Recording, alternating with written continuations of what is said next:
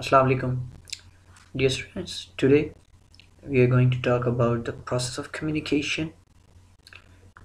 In the same topic we will discuss the components of communication. And the process of communication is also called the cycle of communication. So let's start with the lecture. By the end of the lecture we will try to learn that how this process of communication works so bismillah first uh, we can say that communication is not a static kind of process. As we have already discussed in the previous lectures the process of communication is a dynamic process. So here what actually happens uh, we have already discussed there are two pivots like sender and receiver. This is a two-way process not a one-way process. And in our first lecture We'll also discuss the different sets of senders and receivers and accordingly our communication and our communication strategies are built. So now the ideas are conceptualized by the senders and we have discussed about the ideas. These are the building blocks of communication. And then these are transmitted to the receiver message is made and a channel is used.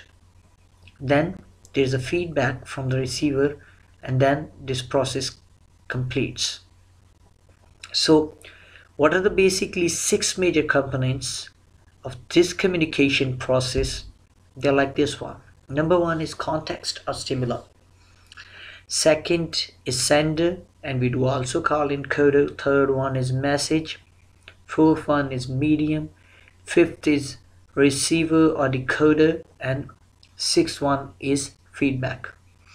So let me introduce all these components one by one. So number one is the context.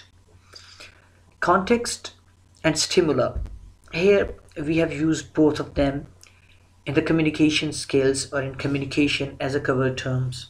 If you look we look at the meaning of the these two words that is not the same if you try to find out whether these are the synonym words or not you won't find them as a synonym but as a cover term we use both of them.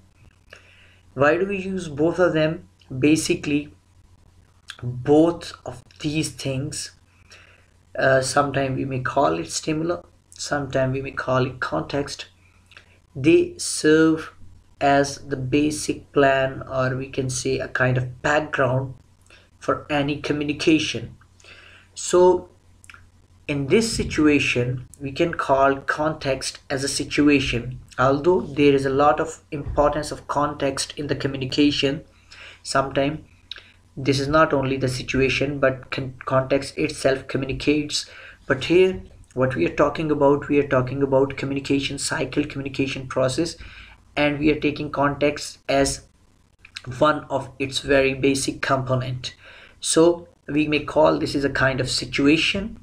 Or context is a background for comprehension what makes communication possible. So how context and stimuli are same in this communication process a stimuli is something causes reaction in a plant or a part of the body. It creates need to communicate and hence there must be a stimulus for communication to take place.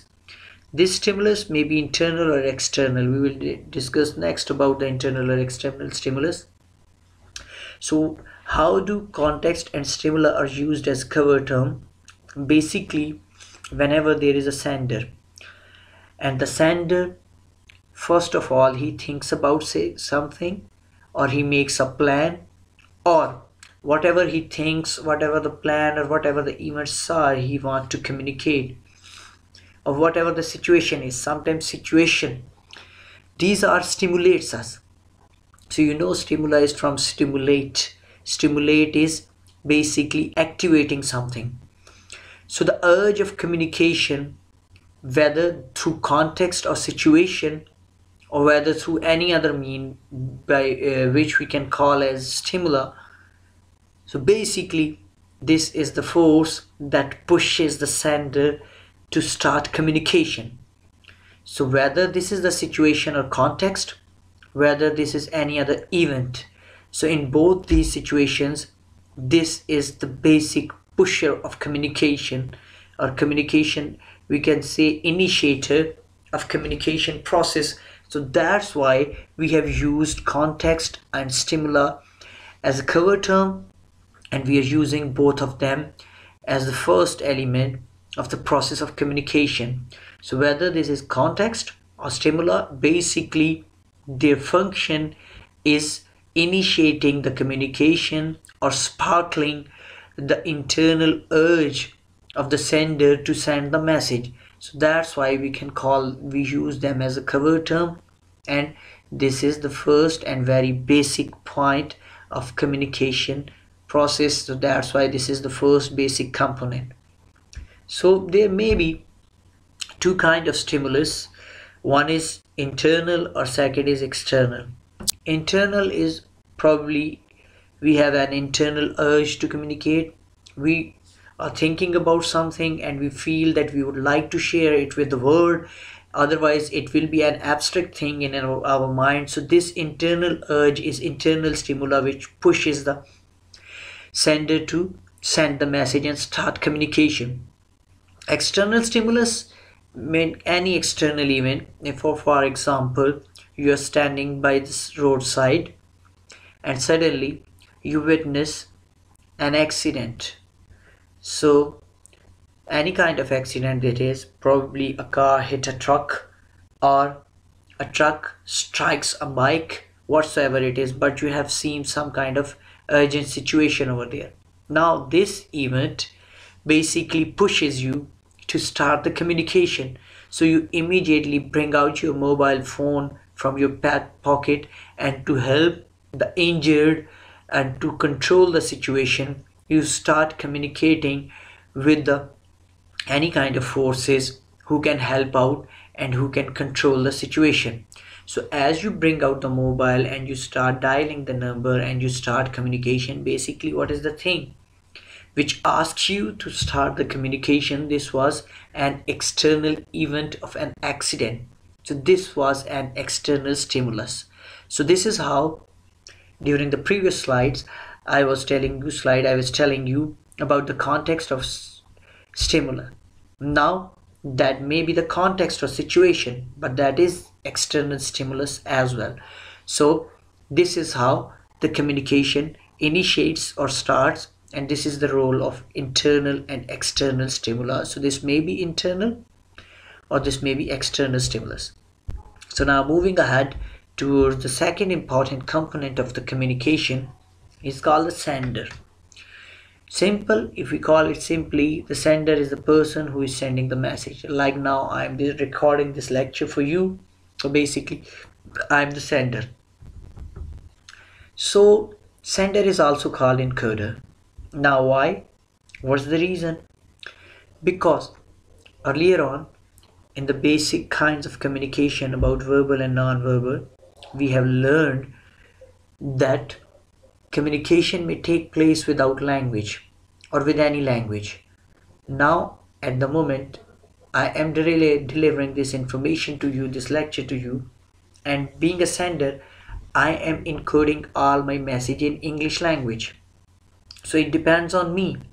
I may write uh, or speak in Urdu language or in any other language. So now I feel that English language is more universal and more audience and the more people can understand this lecture and particularly this course is related to English so that's why I'm communicating in English so for example being a sender if you want to ask any of your friend how are you so it's your choice whether you are writing how are you whether you are writing आप कैसे हैं whether you are writing आपका क्या हाल है and whether whenever you are texting you're writing in short form so now however you are encoding the message whether you are sending this message as a voice message or as a written message. So these all choices are the basically responsibility of the sender. So that's why he's also called encoder.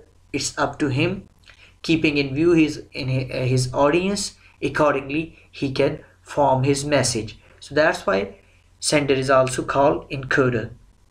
Then sender uh, sends a message. What is the message basically?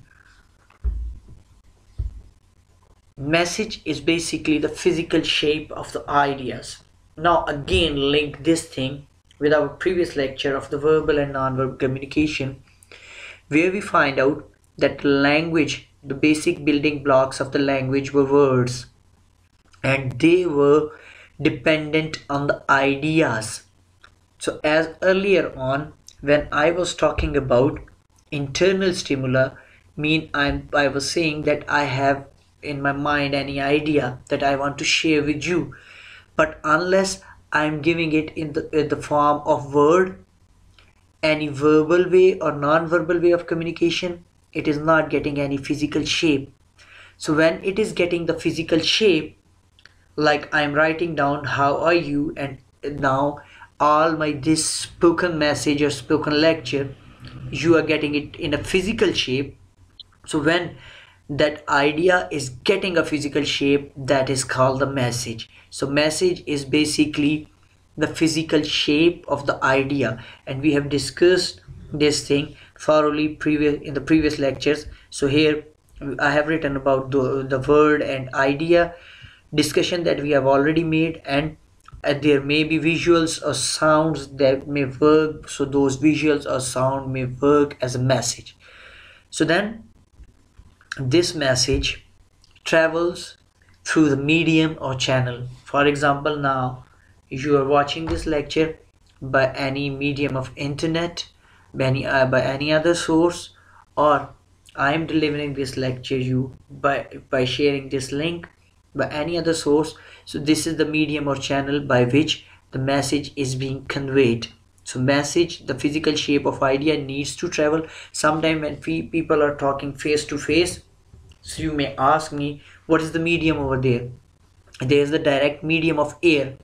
Because when they are speaking if there is no air you know being the students of the science your message cannot be conveyed from one person to the other. So there is the physical shape of the sound but that travels through the air. So that at that time even at that time air is the medium or channel. So the choice of medium is also very important in the process of communication. So through the medium or channel the message is sent to the receiver now receiver is simply this person who receives the message but why we are calling it him decoder as well so decoder is linked with the term that we have already used uh, with sender and that was encoder. So definitely I being sender have sent this message in English language. If you can't decode this message, if I'm speaking such a language it is not understandable for you, then being encoder this is my fault. And basically the message is being sent for decoding. So if our receiver can't decode the message then the message is not be uh, has been conveyed. So basically communication will take place when the recipient when the receiver of message will be able to decode the message so that's why the understanding of the message. So if there is the understanding of the message and the receiver is decoding the message accurately then receiver is also decoder. So uh, I'd like to tell you another example. For example if I'm calling someone and his move his telephone is on recording and telephone asks me to record my message I do record that message. The communication process will not take place and that receiver mobile phone or receiver phone will not be a receiver in a real sense uh, unless it delivers the message. And by that time it will be only a channel. And when the person who I called he came back to his home and he listened that recorded message. So now the telephone or telephone recorder is not, not the receiver. Overall we generally we are calling it receiver but the receiver is that person who listened the message. And why we are calling him the receiver in the real sense? Because he decoded the message he understood the message. The machine which received the message and recorded it it was not able to uh, basically understand that message and reply to that message. So that's why the basically decoder or receiver listen the message and then accordingly what he is trying to do he is trying to respond to the message. Now communication process will go on. He will get the feedback or response to the sender. So response of the receiver which goes back to the sender is called feedback. And it is also called the response. So these are basically the six elements the six basic components of communication. Then we need to know which of these component is crucial or important? Important. As far as communication is concerned all these six elements are pivotal and they are very important for the communication. If we take any of these out from the process then communication will not take place. And then there is a sequential order organizational order in all these components if they are not in that order then communication process or communication cycle is not working. So how why we are calling it communication cycle? You can come to know it now by understanding this figure. Now first of all this context or stimuli. That pushes this sender or encoder to send the message. Then sender encodes the message according to the need of communication and his receiver what he encodes the message. Then the message is being encoded and this message is sent to the sorry there's a problem in the figure. This message is sent to the sent by the medium.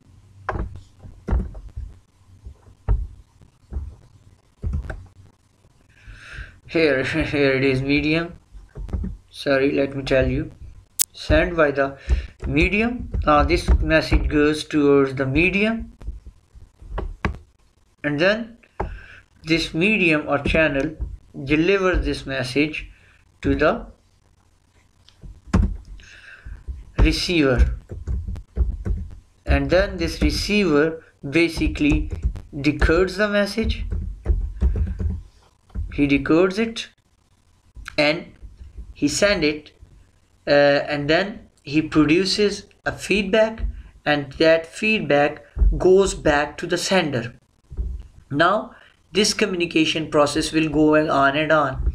Here context or stimuli is basically working like the main switch of any communication. When this switch switch ons this process or cycle of communication then this cycle of communication goes on and on. And on the next instance feedback works as context or stimuli how it works as context or stimuli let me tell you.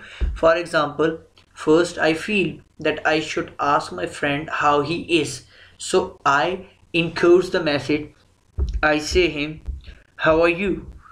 So here the message is so here i encoded the message and the message is how are you I encoded it in this way. How are you? Then this message through medium this message how are you goes. Then this message how are you goes to the receiver. Receiver gets this message and understand this how are you mean. He want to know about my health so he gives the feedback and he says after decoding he says for example he says that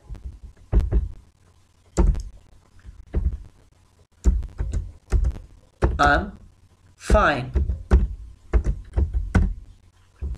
So now this I'm fine is basically mm, this I'm fine is uh, we can say is the feedback and this feedback will go back to the sender.